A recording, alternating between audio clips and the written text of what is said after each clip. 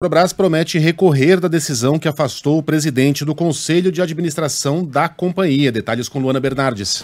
A Justiça Federal de São Paulo suspende o presidente do Conselho de Administração da Petrobras do cargo por conflito de interesse, já que Pietro Adamo Sampaio Mendes ocupa também o cargo de secretário de Petróleo, Gás Natural e Biocombustíveis do Ministério de Minas e Energia.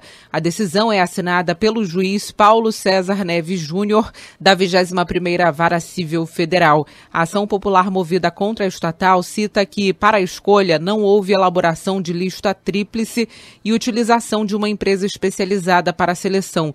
O documento cita ainda conflito de interesse com a União ou com a própria companhia. Por meio de nota, a Petrobras disse que vai recorrer da decisão, que, segundo a empresa, é baseada em alegada inobservância de requisitos do Estatuto Social da companhia no processo de indicação do conselheiro.